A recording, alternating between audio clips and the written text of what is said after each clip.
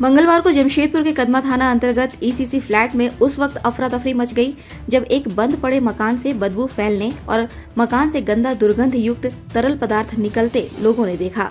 आसपास के लोग किसी अनहोनी की आशंका जान इसकी सूचना टाटा स्टील और पुलिस को दी।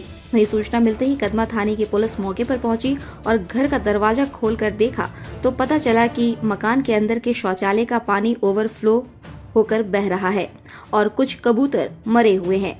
यह दुर्गंध उसी से आ रहा था। तब जाकर पुलिस ने राहत की सांस ली।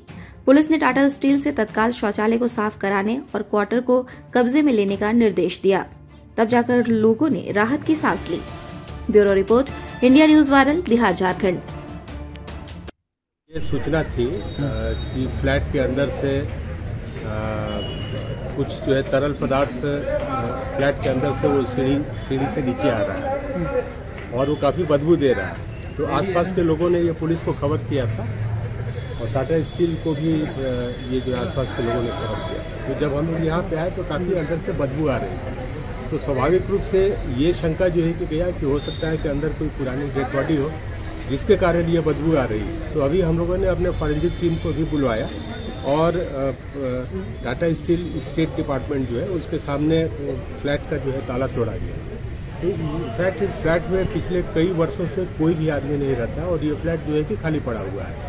तो जो बाथरूम का जो पानी है और जो लैट्रिन का जो पानी था, वो ओवरफ्लो, ये ऐसा प्रतीत होता है कि काफ़ी दिनों से कर रहा है। और ये पूरे फ्लैट के कमरों में ये जो है भर गया था, प्लस कुछ कबूतर वगैरह जो है कि वहाँ पे जो है मृत पड़े थे।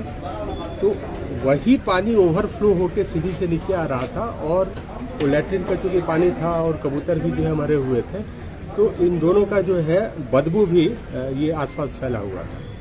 तो इससे ऐसा प्रतीत हुआ कि हो सकता है कि कोई डेड बॉडी अंदर होगा, परंतु जाँच करने पे इस प्रकार की कोई बात सामने नहीं आई है और अभी हम लोग टाटा स्टील वालों को बोलते हैं कि फ्लैट अपने कब्जे में लेकर साफ़ सफ़ाई कर लेंगे